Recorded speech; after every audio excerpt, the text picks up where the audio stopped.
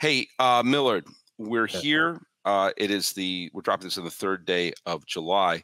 Um, there are just some quick things. Uh, you know, we're not going to do a super long segment at the end, but I had said that this last couple of weeks were the most critical weeks, maybe in the history of the Angels franchise, because they were tiptoeing on the verge of contention, on the verge of being one of the wild card teams, and the trade deadline. I mean, we've got the All Star break coming up, but the trade deadline is going to be coming up very soon.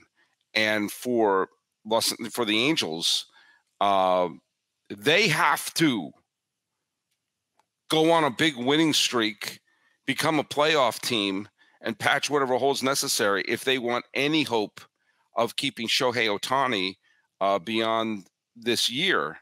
And I said this was huge gut check time for the Angels, and they immediately went on a four game losing streak. now they won today against your Diamondbacks. Yeah. But uh, you know, the Diamondbacks, anytime you can win a series on a road against a winning team, that's what Arizona did. And they managed to pad their lead in the National League West because LA lost a couple of games to oh, Kansas yeah. City of all teams. So Arizona's looking pretty good heading into the break. But for the Angels, I'm sorry, this is a catastrophe. They they didn't play well against the White Sox. They didn't play well against the Diamondbacks, and they've got the Padres, Dodgers, and Yankees coming one, you know, one, two, three, four coming up. This they could lose all of those series. Yeah, and, and they and they were also coming off a series loss to the Rockies as well. Yeah, I mean this this is this is like, and and of course, look at I, I, I, if they re- if they fall deep enough behind, you almost have to think that they have to look in the mirror and say, "We're going to lose Ohtani. Let's get something for him." Yeah, is it a high uh, hyperbole to say they're at the greatest crossroads in their franchise's history? And no. may, it may be the greatest crossroads that they're ever going to face in their franchise's history because the last player that we compare Ohtani to is Babe Ruth, and we all know what happened to Babe Ruth when the Red Sox traded him away. What happened with that curse? And if you're the Angels, do you want to move a guy like this? Of course, if he hits free agency and he leaves, it would be smarter to trade him at the deadline. But do you even want to do that kind of business? We're trading away this transcendent talent. This guy can bring in and make you more money than any other player, and maybe all of sports. Ohtani is the breaker of chains. He's the queen of all dragons. He's Daenerys Targaryen. You don't want to do bad business with Shohei Ohtani because you will get burned, just like Targaryen the Queen Daenerys did to all her enemies. You don't want to do a Shohei Ohtani. This dude is way too good. I think in the end, you want him on your team because why would you not want to have the best players that we might have ever seen? Arguably the Michael Jordan, the Tom Brady of baseball. If this guy, the way he's hitting his ceiling right now, if he is the greatest guy to ever grace Major League Baseball, why would you want to let him go and make him play for another team? You can't compare him to Tom Brady because this would be if Tom Brady was a great quarterback and also a great linebacker. Yeah. You know, I mean, it's like he is a 250 million hitter and a 250 million pitcher. That's why I have no compunction signing him for 500 million because you're getting those two players and saving a roster spot. Um, if the Angels, a super high revenue team, this is not a small market, small revenue team. The Angels are flush with cash. They make piles of money. Not only do they have great attendance, but they have a huge media package. Okay. They Trout is there for the long term. He wants to stay and win as an Angel, but it, that just may not happen. And it's just gut wrenching that you have both of these players. Both are all stars, and both you know Trout was the uh, presumptive MVP, and now Ohtani is. And you have those two players on your team at the same time in a league where we've seen fluidity at the top of you know we've seen fluidity at the top of the American League West. Yes, it's been the Astros for the last bunch of years, but look, it may be the Rangers this year. What did the Rangers do that the Angels couldn't do?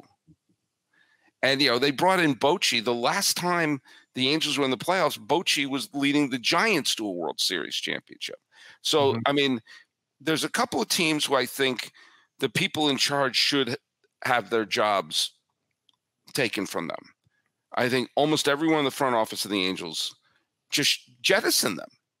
Yeah. And how could you reconcile with your fans if you were able to let a guy like Ohtani walk or if you traded him um, at the deadline? How could you look your fans in the eye? Because even a team like the Red Sox, when they traded away Mookie Betts, at least you had him in your system the whole time. And then you won World Series with him and you had playoff dr- droughts and failures and the high notes and you won MVPs. With Ohtani, it's not like he's been in this Angels organization for a decade plus and came up through a young pup. You only got to see the greatest years of Shohei Ohtani, got to witness him in his prime. And then he breaks potentially this playoff curse that you're going to have where maybe you actually win a playoff game during Mike Trout's uh, tenure because Mike Trout is yet to win a playoff game. And then you let arguably the greatest guy ever leave. I don't know how you could look your fans in the faces ever again and say, you know what, we're an organization committed to winning and putting the best product on the field. They're not.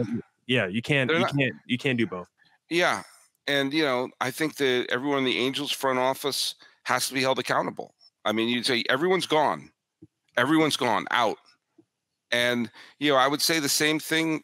By the way, I would say the same thing to uh Mozeliak and everyone in the Cardinals as we are, you know, this will be 10 years since their last appearance in a World Series.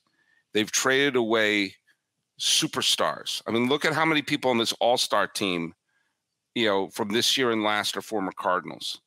You know, whether it's Gallen or Arozarena or last year Alcantara. How many of those players are are winning with other teams?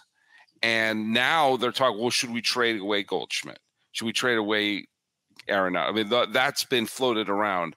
And in a in a division where nobody put a great team on the field, they are, you know, yeah, they took China three from the Yankees, but they they've been tremendous. They've been terrible.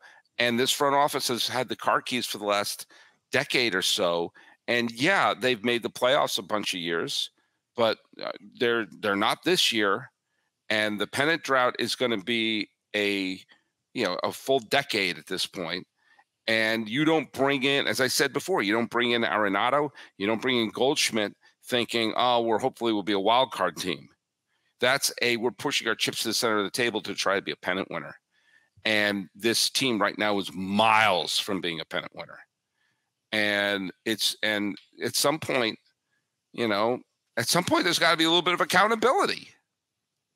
Yeah. And if I'm the Angels being two games back of a wild card spot, do you push all your chips in and try to mm. make the playoffs this year and you just try to convince Ohtani that this is a winning environment? And yes. I don't know if it's too late. I don't know if you've had conversations or gotten indications that Ohtani wants to listen to other offers and go check out other teams. Because if you're just one winning season away, one you know competitive playoff run away from signing Ohtani long term, then I think you got to do everything in your power to get as far in the postseason as you can this year. I think you have to. I mean, this is the point I'm making about these next bunch of weeks. They have to fill in all. They have to make a big splash trade. They have to do something to try to win him back. Because if you don't, then you might as well trade him. Because you know they the playoffs are within their reach, and you got to be able to take the mindset of look at when you get in. We've seen mediocre or teams that had, didn't have great seasons go all the way. Mm-hmm. You know, so it hasn't happened much in the American League, but it's happened more in the National League. But still, I digress. But uh, you have to play that card because hopefully say, hey, you know, we'll get to the postseason and and and go deep. I mean, that's that has to be everything. That has to be all their cards on the table. If not, they've wasted two generational talents, and then you everybody has to be that's that would be your season ticket brochure is all the a picture of everyone in the front office holding up pink slips like this with their head down. Like that's right, we fired everybody. Yeah, yeah. And I think the uh deadline's like the first week of August. Yeah. We've seen the Angels go in crazy slumps before. Like let's say in a 20 game span, they go like three and 17 entering the deadline. Then Then of a you're then you trade back. then you trade Ohtani. Then All you right. just trade Ohtani. So it really depends on where you're standing as you enter the deadline. If you really think you got a chance of making the postseason, then you go all in. But if you're like, eh, it's looking like a two percent chance, then might as well recoup whatever asset you can for the big. That's why these weeks are so critical. Well, look at it's been why it's critical doing the show with you. Hey Millard, Hey, we have another great week of shows here. Tell people where they can find you. Follow me on Twitter at Creator Thomas 24 for my personal account. Look up Locked on Diamondbacks on Twitter, Instagram for the podcast handle, and of course, we're on all your streaming platforms. And please hit, hit subscribe on the Locked on Diamondbacks YouTube channel. And you can follow us at Locked On MLB Pods on Twitter and Instagram. And I'm your pal Sully. I'm at Sully Baseball on Twitter, Sully Baseball Podcast on Instagram, talking about the All Star games and wondering if Ohtani will be in Anaheim at the end of the year and beyond. This has been a Locked On MLB Locked On Diamondbacks crossover. He's Millard Thomas. I'm your pal Sully. Let's fist pump for another week.